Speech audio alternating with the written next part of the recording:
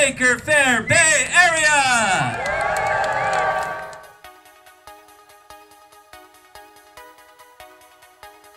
My name is Fritz.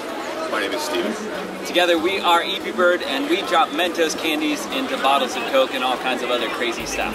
A friend of mine told me about this crazy thing. He said, you know, if you drop Mentos in a Diet Coke, you get this geyser. And I said, no, but I was going to visit Fritz that weekend.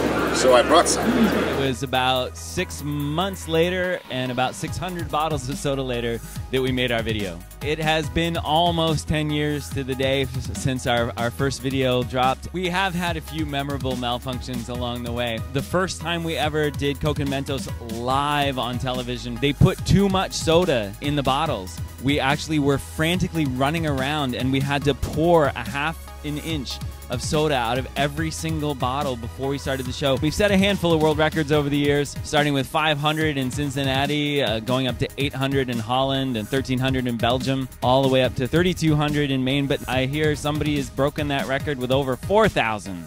It gets crazier and crazier every year. We've got some really crazy things planned for later this year.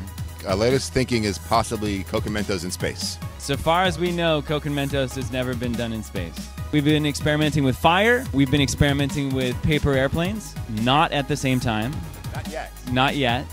Uh, and we've also been playing around with a lot with big giant mirrors. So we'll see. We've got some really fun things going. I think my favorite part is the people that come up to us after the show, especially the kids who say, I've done that. I did that at home. We did it at my birthday party or whatever, and, and have been inspired to go do stuff themselves and hopefully take it further than we have. We figured that this was going to be about 15 seconds of internet fame dropping Mentos into bottles of Coke.